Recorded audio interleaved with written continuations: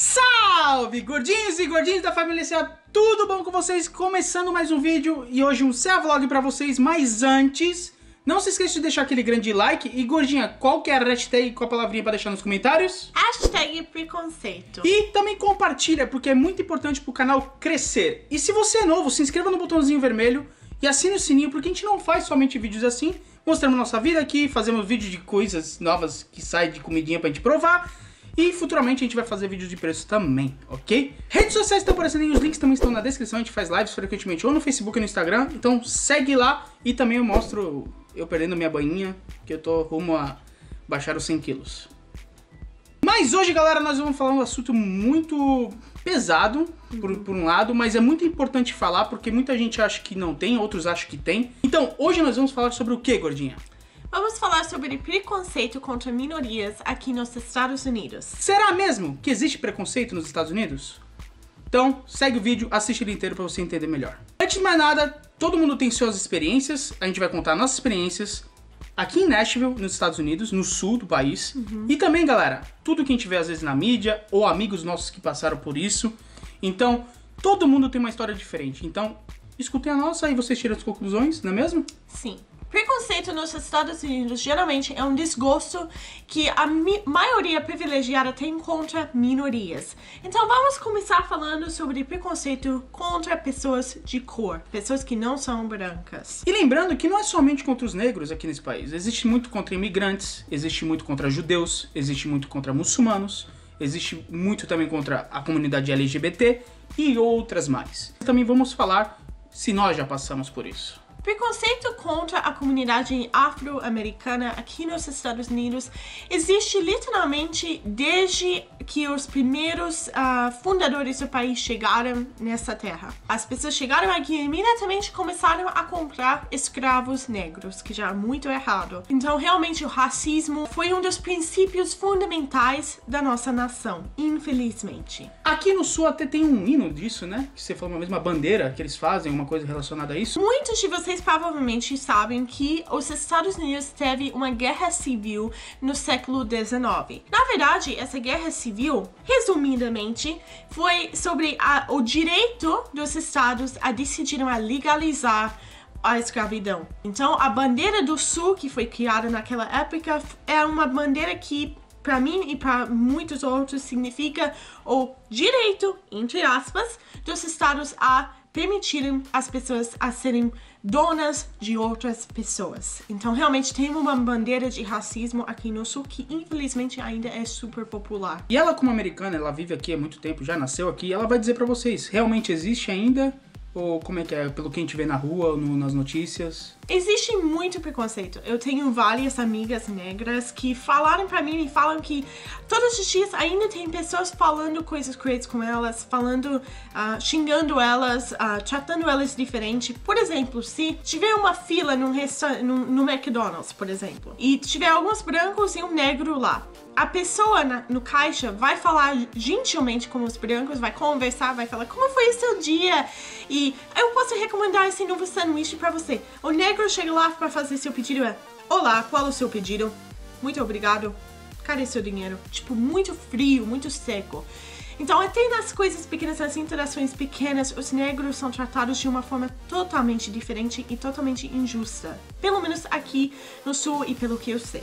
Muita gente fala por aí, e pelo menos é o que eu ouço de outras pessoas falando na internet, que ah, mas os brancos sofrem muito porque os negros são muito revoltados e tudo mais. E aí? Eu posso dizer que pode muito bem ter um negro, e minhas amigas negras falam isso pra mim, pode ter um negro que não gosta dos brancos.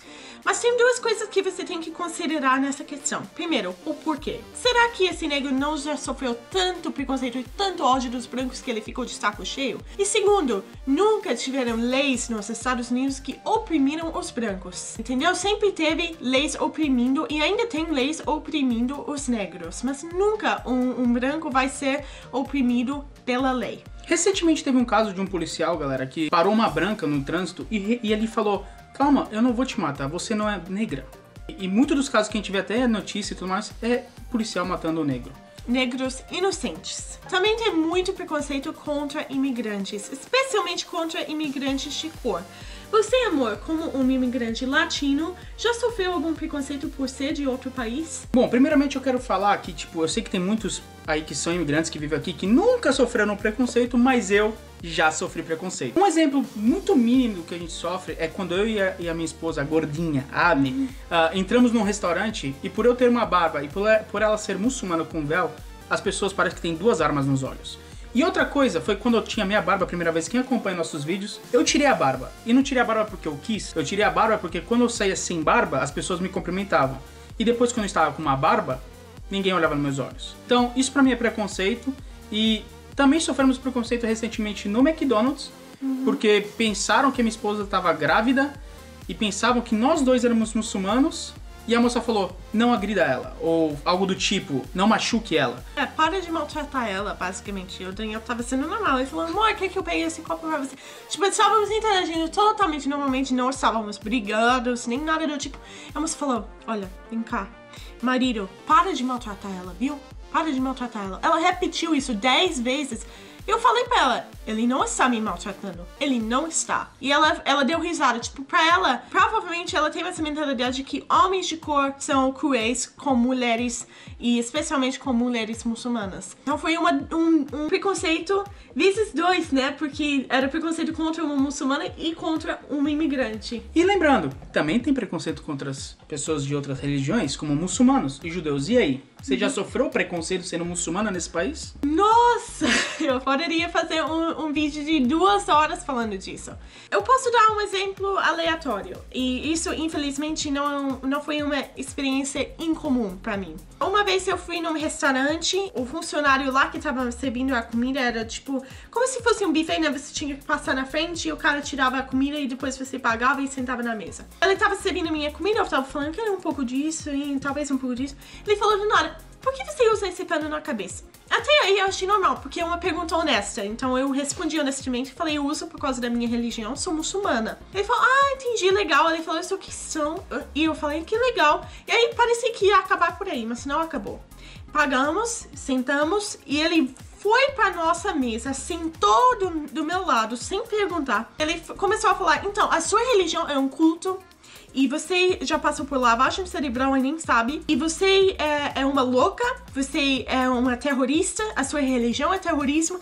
Ele ficou uma hora dando uma palestra explicando para mim porque o Islã era horrível, Allah não era Deus e, e um monte de coisas que não eram da conta dele. Em nenhum momento você desrespeitou a religião dele, em nenhum momento não. você falou mal da religião dele, simplesmente você só queria comer. Sim, eu só fui. Eu não fui lá falando de, de religião, eu fui lá para comer uma bela refeição, não para discutir religião pra, pra, com alguém. Eu converso numa boa com qualquer um sobre qualquer assunto, mas ele não falou numa boa comigo, ele falou com muita crueldade. E esse é só um dos casos, galera. Como, por exemplo, adolescentes aqui no condomínio, nem sei se moravam aqui, chamavam a árabe de porca quando a gente tava indo pra academia. Teve casos quando a gente foi no, no Arbs que o cara ficou discutindo com a Abby. Teve casos até de médicos puxando a roupa da Abby. Que isso, que isso, sabe? Tipo, Existe sim preconceito, mas é muito escondido. Ultimamente, o preconceito contra muçulmanos não está sendo tão escondido. Está, está sendo uma coisa mais aceitável na sociedade. Eu, graças a Deus, nunca sofri uh, violência física por ser muçulmana e por usar o hijab. Mas eu já conheci pessoas que sofreram violência física e já vi casos na mídia de mulheres que, uh, que homens cortaram o pescoço delas, ou que foram apedrejadas, literalmente com pedras reais. Assim, essas coisas acontecem com muita frequência hoje em dia. Isso também está acontecendo contra outras minorias. Não só isso, uh, esse mesmo homem que a Abby falou do restaurante já insultou outras muçulmanas que foram lá ou mulheres que usam véu. Ah, mas a Abby só sofreu porque mudou pra, pra religião muçulmana. Mentira, antes dela ser muçulmana, quando ela só usava o véu, ela já sofreu preconceito. E isso porque as pessoas achavam que eu era muçulmana, quando eu não era. Então, realmente, o problema contra, eh, de preconceito contra as mulheres de véu é um preconceito contra o Islã. A solução não é de falar, não, gosto, não gostou, não seja muçulmana. A solução é conversar, se entender e principalmente respeitar o próximo. Assim como os judeus também sofrem muito, galera, tá? Uh e demais, assim como os muçulmanos, né? Eu tenho várias amigas de ideias. Vocês vão perceber que eu tenho amigos de toda religião, toda cultura, toda, todo tipo de, de pessoa ao meu redor. Isso só mostra que a gente, para ter uma amizade, não tem que ser através de uma religião, e sim uhum. do que a pessoa é, o que ela demonstra ser. Eu acho muito errado quando as pessoas só é amiga de outras pessoas porque é da mesma religião. Eu acho isso muito estranho. Eu acho isso falta de amor no coração. Uma amiga judia, por exemplo, vou dar esse exemplo. Ela usa aquele uh, colar com a estrela de Davi, que os, os judeus usam, né? Que é o símbolo da religião deles. Ela falou que quando ela vai em certos lugares, ela sabe quais lugares são seguros para ela, em quais lugares ela vai tomar insultos. Então ela fala que, falou que muitas vezes ela pega a blusa e ela coloca o colar dentro da blusa para não tomar xingamentos. Eu sei que muitos centros culturais de judeus uh, são atacados com fogo, pessoas uh, usam uh, tinta para pôr palavras sujas nas paredes. As pessoas vão em cemitérios de judeus e, e arrancam os, os corpos dos, da terra ou destroem os, os túmulos. Assim, tem muita crueldade. O antissemitismo é um clássico, né? É o preconceito mais clássico que tem. Eu digo isso com bastante sarcasmo. É o preconceito mais antigo que tem, eu acho. Depois de milhares de anos de preconceito contra os judeus, eu acho que está mais do que na hora de respeitar eles, não é mesmo? E não só os judeus, assim como todos, eu acho que cada um deve seguir o que quer seguir, independente se você acha certo, se você acha errado.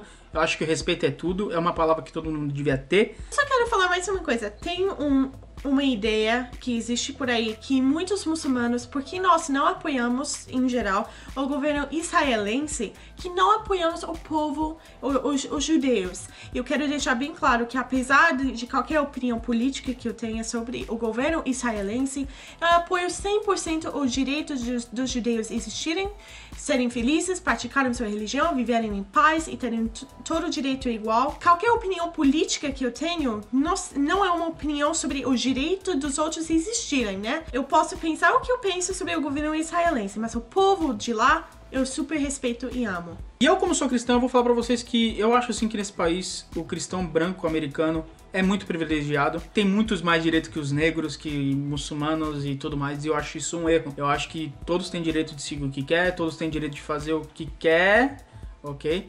Mas é isso. Eu acho uma coisa sobre privilégio é muito importante fazer duas coisas quando você tem privilégios. Primeiro, reconhecer e admitir seus privilégios. E segundo, usar seus privilégios para ajudar as pessoas que não têm privilégios. Por exemplo, ele, como cristão, tem o dever de, de apoiar o meu direito de ser uma muçulmana e viver em paz. Eu, como uma branca americana, tenho o dever de apoiar o di direito dele de viver em paz sendo um imigrante latino. Entendeu? É muito importante usar nosso poder, seja o quão pequeno for, para ajudar o próximo. E a comunidade LGBT, será que sofre nesse país? Eu tô deixando mais a Abby falar porque ela é americana e ela viveu mais tempo que eu aqui. Eu vejo algumas coisas assim, mas eu vou deixar ela porque ela tem mais experiência nesse país do que eu. Uma coisa que eu acho trágica é que em pleno 2017, quase 2018, ainda tem muito preconceito e muita violência contra a comunidade LGBT. As pessoas que mais sofrem são os transgêneros, principalmente as mulheres transgêneras e mais ainda as mulheres transgêneras negras. Elas são fisicamente atacadas. Duplamente. Uh, pessoas transgêneros, muitas vezes, depois de se assumirem, são, uh, sofrem assédio sexual e muitas vezes sofrem violência física.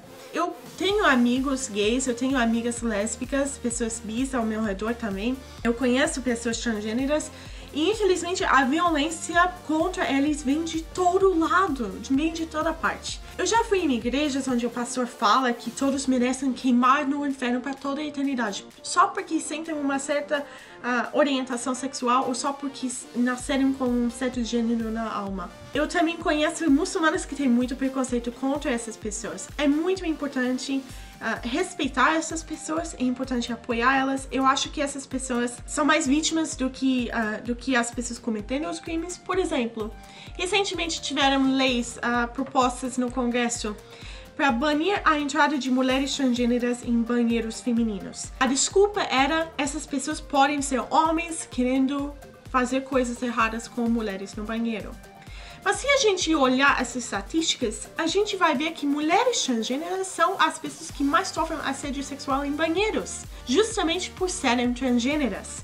Então é muito importante entender que essas pessoas precisam do nosso apoio, a nossa compaixão e precisam de apoio da, da sociedade inteira, não somente de indivíduos, mas de todos. O mais importante de dizer aqui, a gente não tá falando mal de nenhuma religião, a gente tá só demonstrando aqui que, tipo, devemos ter amor por todos, independente do que segue, independente do que credo, independente da sua opção sexual, enfim. Vamos respeitar mais os outros, sabe? Porque o mundo já tá tão ruim, galera. Tão ruim, coisas ruins acontecendo. Tá faltando amor nesse mundo. Tá faltando muito amor nesse mundo. Eu acho que para amar alguém você tem que conhecer aquela pessoa. Então, o primeiro passo, na minha opinião, para amar o próximo é entender o próximo. Então, em vez de julgar os outros e falar, eles são eles, eu sou eu, eu vou julgar eles e eu vou ser salvo ou salva, vamos começar a sentar e conversar sobre nossas diferenças, sobre nossas crenças, nossas culturas e por aí vai. Em vez de pensar, ah, eu não sei se eu posso confiar nos gays, será que vão dar em? Que tal sentar com um gay, tomar um cafezinho, comer um bolo, bolo sempre faz bem e descobrir quem é essa pessoa. Que tal fazer isso também com muçulmanos? Eu posso dizer como uma muçulmana que nós não mordemos, não, não somos vampiros. Você pode sentar e conversar conosco tranquilamente. E eu posso dizer que toda minoria é assim. É só sentar e falar e descobrir quem nós somos. E só lembrando uma coisa, tem pessoas boas e ruins, independente da sua religião. Tem pessoas boas e ruins, independente da sua opção. Então, nem todos daquilo que você acha que é errado ser seguido é uma pessoa ruim. Vamos abrir mais o coração e vamos ter mais compaixão pelos outros, ok? Outra coisa, eu quero que vocês deixem nos comentários que outros assuntos vocês gostariam que a gente conversasse com vocês, que vocês querem saber sobre Estados Unidos. Uhum. E o que vocês acharam da nossa opinião. Deixe também as suas opiniões aí nos, nos comentários. Enfim, não se esqueça de deixar aquele grande like se você gostou, é claro. Comenta, compartilha, se inscreve no botãozinho aqui que tá aparecendo do Casal América, que a gente tá rumo a 30 mil inscritos, e assine o sininho. E estão aparecendo os dois últimos vídeos na tela. Por favor, vão lá, assistam e deixem um grande like. Então é isso, galera. Muito obrigado a todos. Até o próximo vídeo. Tamo junto. Misturado. E tchau. tchau.